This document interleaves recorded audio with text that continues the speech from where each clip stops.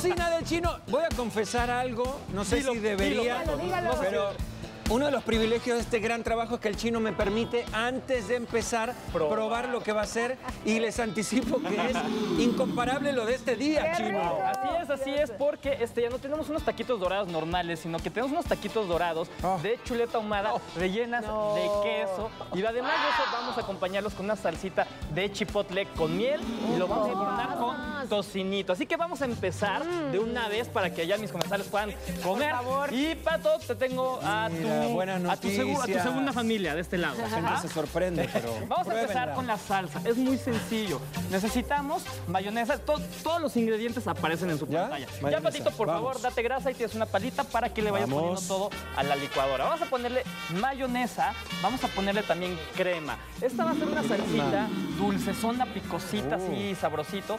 Exacto. Crema. Vamos a añadirle chipotles, ¿va? Ah, Aquí esto ya va a ser eh, a, a criterio de cada quien, lo que... el- Mi el- segundo favorito después del habanero. eso. Ahora, vas a mezclar eso y además de esto le vas a poner miel. La miel le va a dar este toquecito dulce que va a quedar increíble. Y después de que le eches esa miel, así es mi pato, vas a poner un colador encima de tu licuadora. Un colador. Exacto, Va. porque vas a exprimir naranjas. ¿Qué tan bueno eres exprimiendo naranjas? Realmente malo. A ver, ahorita veremos si es sí, sí o no. A, A ver, ver. exprímele. Naranja ahí. Ay, no, Ya te manchaste. Pato. este, salpicando por todos lados. Hay un Se ve truco muy bueno, ¿eh? ¿Mande? Le pones el, el tenedor Ah, y lo exacto. volteas. Sí, como si fuera un limón. más rápido. Dale. Bueno, en lo que tú licuas eso, mi pato, de este lado quiero que vean. Tenemos ya la chuleta ahumada y simplemente vamos a ponerlo en un sartén. Ahora, aquí tengo la grasita del tocino que ahorita les voy a enseñar. Y con eso la vamos a freír. Mientras Dalo todo, tanto, Pato, dalo todo. este lado, la cara de pato, sí, paren, basta, basta, basta, listo.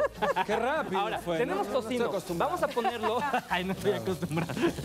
vamos a poner tocinito y vamos a dejar que esto se empiece a dorar. Es muy importante que esto lo hagamos a fuego lento para que quede bien crocante. Y después la grasita que sobra fue con la que usamos, usamos para este, hacer eh, nuestra chuleta. Ahora quiero que vean.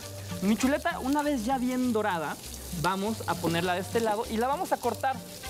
Vamos a sofreír unas tortillitas de esta manera y vamos a poner nuestras Unas tiritas. unas tiritas de chuleta y además de Oh. eso vamos a rellenarlas con un poquito de queso y simplemente vamos a envolverlo. ¿Y qué crees? ¿Qué tenemos aquí? Aceite. Aceitito caliente. Entonces vamos a dejarlo de esa manera y los vas a cuidar, Pato, hasta que queden Lo voy a cuidar como si fuera mi hijo. doraditos. Ahora, quiero que vean la textura de la salsa. Quiero que vean cómo queda esta así cremosita, bien bonita, bien rica. Ahí está, color muy bueno.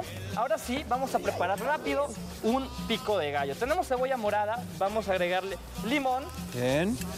Jitomate, Ah, digo, sí. chile perejil, Ah, vinagre, Ah, cebolla no. un poquito, sí, la cebolla ya está viejito, mi Willy.